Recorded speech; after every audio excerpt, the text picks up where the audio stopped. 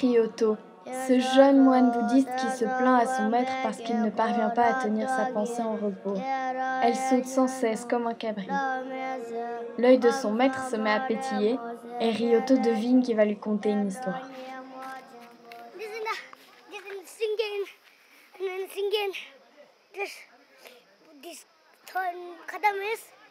and five in Chitti. Yes, okay? Okay.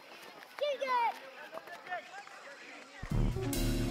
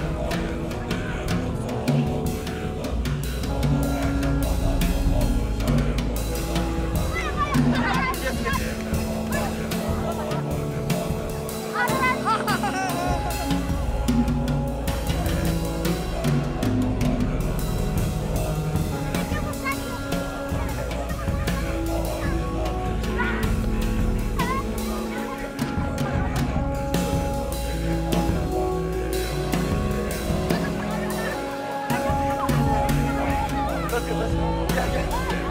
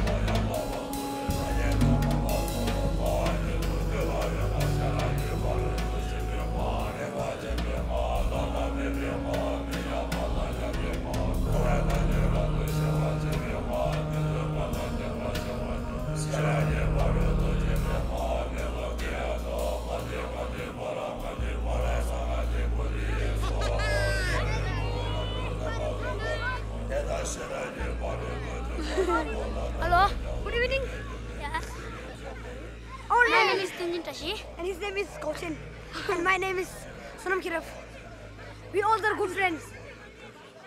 Yes. Yeah, I am going to. We all are from we all are from Tibet. Yes. Yeah, yeah. Uh, now we are in Gita Monastery. Gita Monastery. Yes, we are very happy in our Gita Monastery and we, it's very good. And very very good dinners, uh, very good food. I like very. I proud I proud my Monastery. C'est l'histoire de Renki, un éléphant sauvage capturé alors qu'il n'a que 3 ans. On l'attache à un piquet au bout d'une corde très solide. Le jeune éléphant se met à se débattre avec furie. Il rue et piétine sauvagement la terre avec ses lourdes pattes. Mais le piquet est bien enfoncé et la corde épaisse. Il ne parvient pas à se libérer et chaque jour il entre en rage désespérée. Il lève la trompe et barille lamentablement vers le ciel.